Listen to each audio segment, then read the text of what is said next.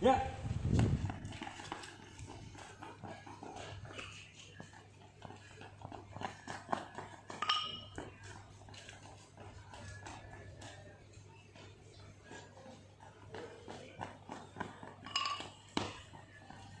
Yang banter terakhir sih. Kebut. Kebut. Kebut. Tes. Wes. Eh,